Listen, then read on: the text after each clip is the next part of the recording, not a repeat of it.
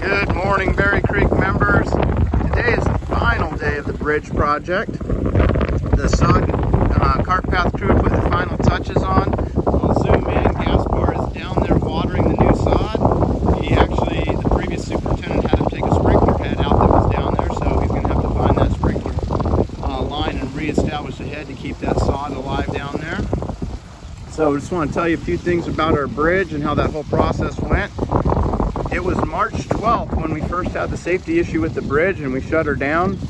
It was 11 days before the bridge crew showed up. They showed up on March 23rd. They were here for 23 days working on that, building that bridge across there. Out of those 23 days, they lost one day due to some heavy rains. They didn't work and they lost another about half day because they had a flat tire on the backhoe.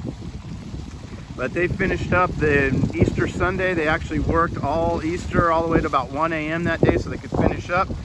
So they finished up on April 14th. On That's the same day the cart path crew and sod crew arrived on site. They started on April 15th. They've been here for the last 10 days doing what they need to do to fix everything, to put in that beautiful cart path to tie into that bridge. So they are finishing up today. Tomorrow we'll be back in play.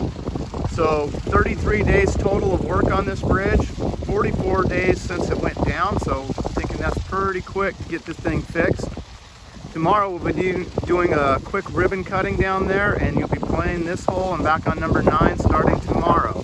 Hope everybody's staying healthy and safe and have a fantastic day.